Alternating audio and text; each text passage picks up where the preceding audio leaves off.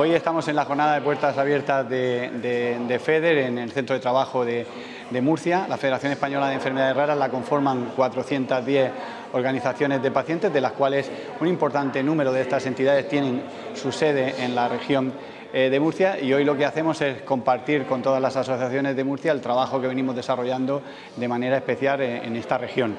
Eh, quiero expresar mi agradecimiento a la Asociación DISMO en la persona de Ramón, gracias a ese extraordinario eh, trabajo, por estar siempre al lado de nuestro colectivo y sobre todo por ser la Asociación DISMO una asociación de referencia en un modelo de atención integral a personas y familias que conviven con enfermedades raras. Y de manera especial lo he reiterado ya en numerosas ocasiones al Ayuntamiento de Molina eh, de Segura, hoy representado en, en el Liceo,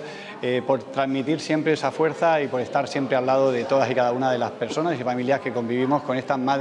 de 6.172 eh, enfermedades raras que tenemos a día de hoy identificadas. Somos conscientes que tenemos que seguir trabajando, administración local representada en el ayuntamiento, administración regional y nacional, pues para entre todo eh, hacer que estas enfermedades raras sean consideradas la prioridad social y sanitaria y podamos seguir avanzando en mejoras. Y este es el, este, en, esta, en esta tarde especial pues en este inmejorable marco que nos brinda eh, vamos a tener la oportunidad de compartir las buenas prácticas que todas las asociaciones están, vienen desarrollando en nuestra región. Sí, vosotros hoy un día también importante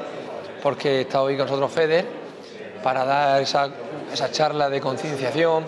esa charla de formación, esa charla de dar conocimiento del trabajo que realizan eh, día a día para compartir experiencias y qué mejor que hacerlo en DISMO, una asociación muy importante para nuestro municipio que realiza un trabajo encomiable durante los últimos años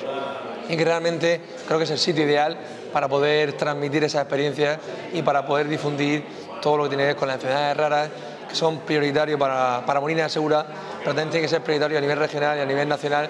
ya que ese tratamiento, esa concienciación y esa visibilización de las enfermedades raras es fundamental para seguir avanzando en pro de un mejor bienestar de, esos, de los ciudadanos de nuestro municipio en concreto y, y realmente de cualquier ciudadano a nivel regional y nacional.